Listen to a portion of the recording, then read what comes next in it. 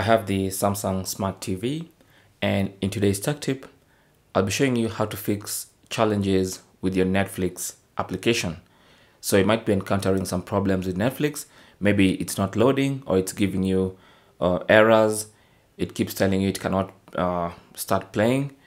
So there are a couple of things you can do to try and fix this problem on your smart TV. First is to check your current subscription status. Now, normally it shows you on the screen if the subscription status has an issue, maybe you're beyond your uh, subscription time and you need to pay up again. So you can check on that. Another thing you can do is just grab your phone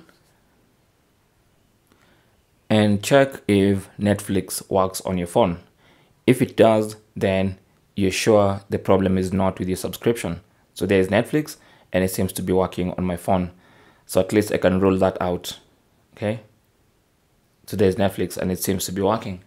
So we're sure the problem is not with the subscription and the problem is not with the Netflix servers. So something else has to be the issue. So the issue could be accumulated cache data on your TV, which is causing some kind of confusion and it's making Netflix not work properly. So to clear Netflix cache, what you want to do is just go to settings and then go to all settings and then go to support select that and then go to device care. Now let's go to check uh, your device. And so to clear Netflix cache you can just go to manage storage find your Netflix app and then select view details and then check if you have any cache data. Now for me, as you can see, I have 0.00 bytes, so I don't have any cache data or any cache for Netflix. If I did, I would have the option up there to clear cache, okay? But since I don't have, then I can always go back and go back to the main device care screen and I can clear the cache by uh, selecting start device care. Now this is going to clear all the cache on the TV. So you can see currently it's freeing up memory by closing unused background apps and then it's going to free up memory by clearing cache. There you go. So it's clearing up the cached memory and more often than not that should fix your problem. So now when you go back to the home screen and try to launch Netflix then it should be good to go.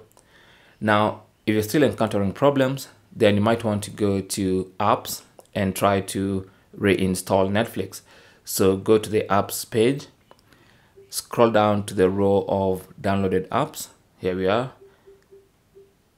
Go ahead and highlight Netflix and then long press on this selection button on your remote until a pop-up window appears and you want to go down there and select reinstall. And that's going to reinstall the Netflix application and usually reinstalling fixes bugs that you might have with the Netflix app. So once it's done, you can just, so it's, it's currently updating. So let's just wait. There you go, it's done. So then now you can try to launch Netflix once again. And hopefully this time it's not going to give you any problems.